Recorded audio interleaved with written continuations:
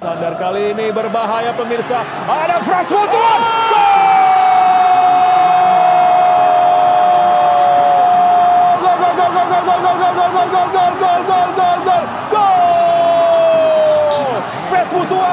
pemain yang dimasukkan di babak yang kedua tadi.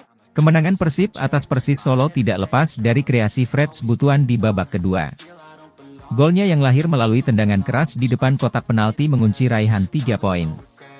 Kontribusi ini seolah membayar blunder sang pemain yang mengakibatkan Persib kalah dari Persija. Sebelumnya Freds melakukan kesalahan passing yang mampu dimanfaatkan Rico Simanjuntak. Insiden itu tentu cukup membuat sang pemain terpukul karena sorotan dialamatkan padanya.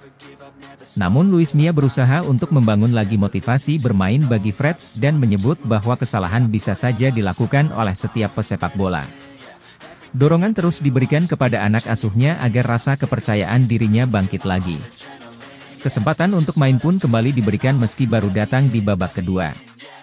Mia juga memuji sikap Freds yang selalu total ketika berlatih untuk terus menjadi pilihan utama. Baginya ketika ada pemain yang melakukan kesalahan saat bertanding itu bisa dimaklumi. Baginya yang terpenting adalah karakter dimiliki oleh pemain tersebut agar bisa cepat bangkit serta tidak terus larut dalam kekecewaan.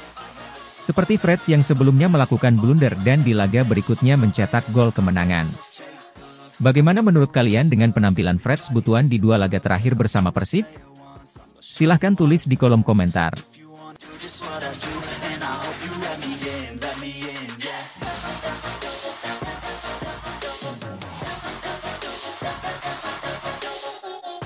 Standar kali ini berbahaya pemirsa. Ada Frans Mutuan.